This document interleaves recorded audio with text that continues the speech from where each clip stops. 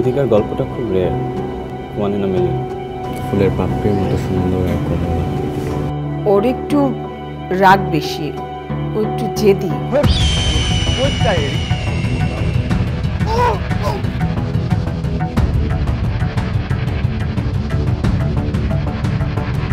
Police evidence ছাড়া কিছু বিশ্বাস করে না। Let's go for the best now ওই মাইয়ারে তুই জেলখানে আপনি কি কখনো ঋতিকার মধ্যে অন্যরকম কিছু নোটিস করেছেন?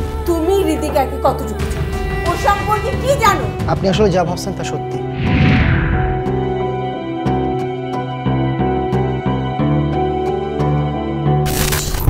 কীভাবে সম্ভব?